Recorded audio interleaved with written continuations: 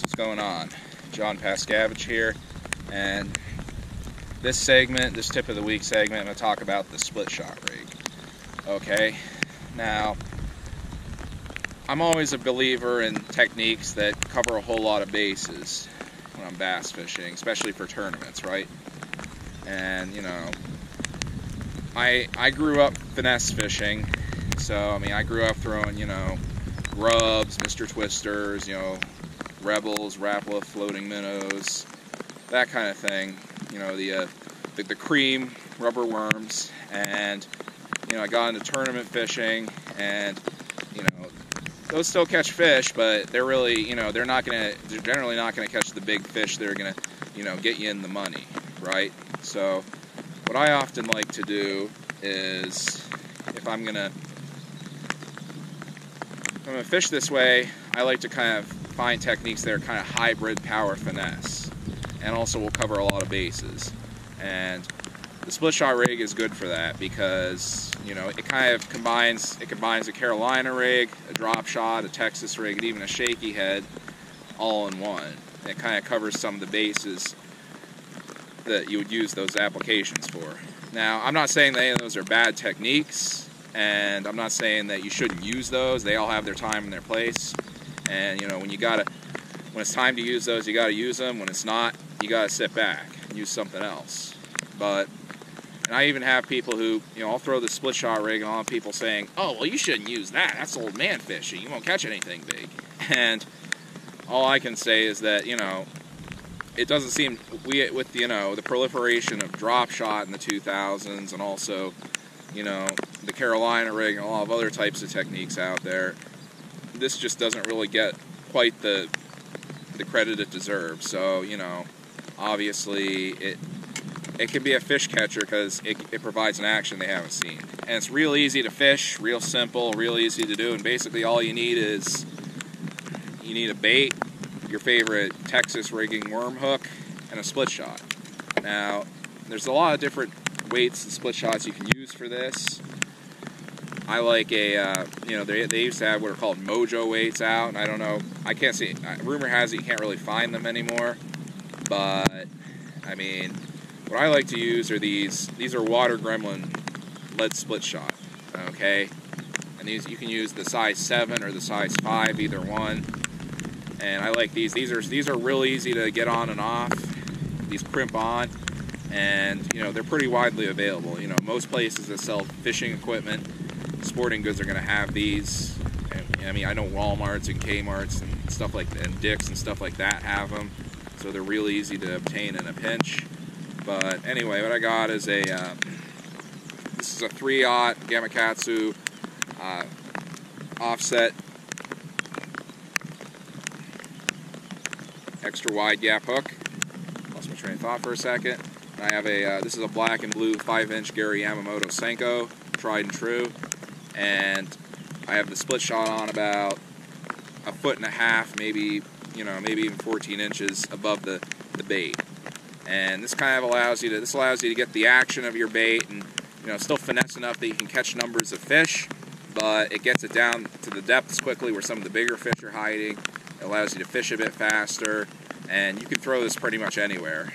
And basically, you can throw it in cover, you can throw it in open water, throw it deep, throw it shallow. And I like to throw this, I mean, I'll throw this pretty much from the spawn on. I've had great luck with it all throughout the year, summer, post spawn, pretty much whenever. I mean, this is, I can't think of many scenarios in those time periods where I wouldn't have something like this and want to use it. And as for the rod and the reel, it's a, uh, I just use a spinning reel and I have a this is a six medium action or it's this medium sorry medium power fast fast action rod. I mean I would just suggest any you can use any I like a good you know medium medium heavy spinning rod for this application. And for the line this is uh, this is 10 pound fluorocarbon. I like fluorocarbon just for the abrasion resistance and it does have some sensitivity. But you know, if you want to use braid or mono, that's fine too. I just this is just personal preference. But yeah, let me show you how to fish this thing. Head cam, the GoPro here, and You can see the rig. Just get us up here and about come up on a, this this spot right here and I know we're in a rainstorm it's a little muddy but I actually caught one on this a little bit ago. But this spot right here it's nice and water's a little stained but we're in about 20 feet of water and there's you can see there's some laydowns up here and it comes up on a little flat here so nice little spot. And basically just get a nice cast out. And there's this is versatile because there's so many ways you can work it, right? You can drag it like a Carolina rig. You can hop it like you would a stick worm. You can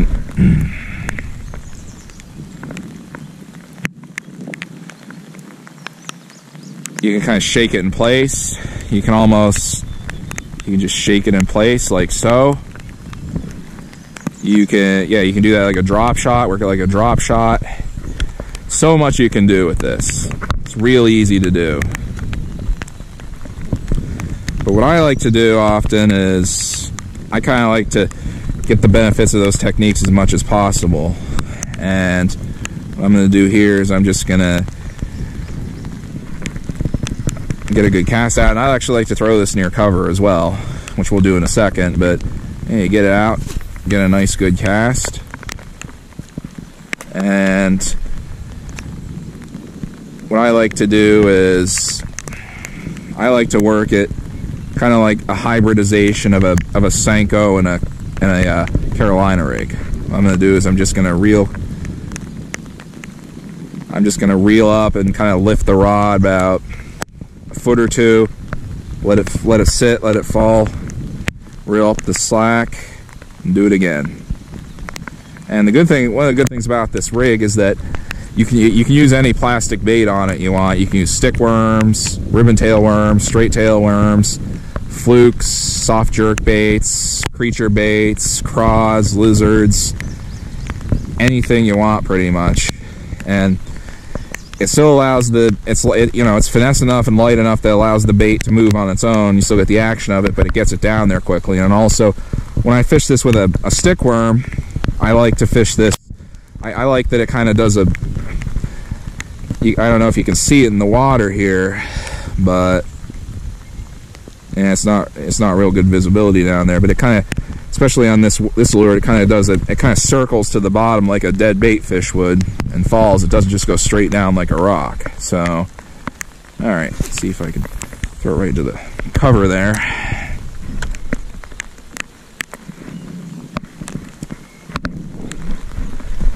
And so all I do is I just reel it up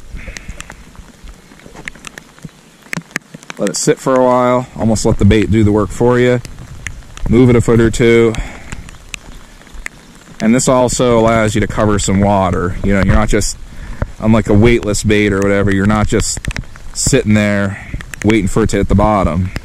This gets it down there and it gets it to, it gets it on the bottom. And you can also use it to kind of feel out the bottom and feel for stumps, rock piles, brush piles, you know, laydowns underwater, and pretty much anything. But real simple. Oh, and it's also, fortunately, there's no grass here at this time, but I like to fish this in grass as well. In fact, I like to fish this in a lot of the shallow cover near it because, you know, what I can do is a lot of people will, you know, they'll pitch and flip this, and what they'll do is, you know, they'll they'll work the bait a lot, and they'll, you know, boom, boom, Whereas sometimes the fish are so lethargic, you just gotta leave it sit there.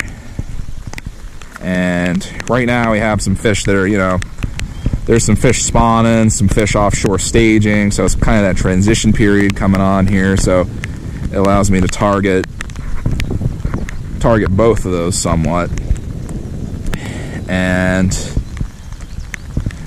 when I fish grass with this, what I like to do is I like to just throw it in, let it fall into the grass, and kind of rip it out almost like I would a a lipless crank or something like that, or anything, or a spinner bait or something, I would just rip out of the grass, right? And it gets down there quickly and it's, you know, it stays weedless so you don't get hung up. There's a good cast. Put it right next to that lay down there. See what happens. Just see what happens. And for the hook set with this thing, well, when you have a fish on, sometimes you're going to feel it.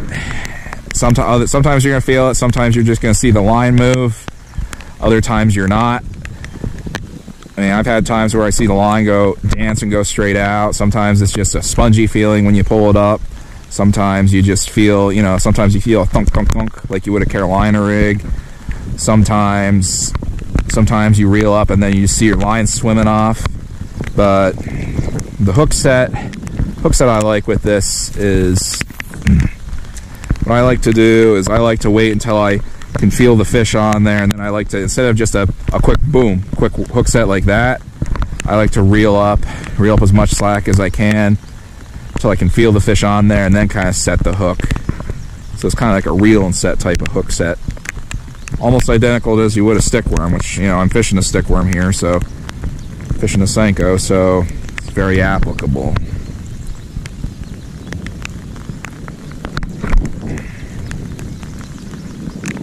That's pretty much all there is to this beast. This is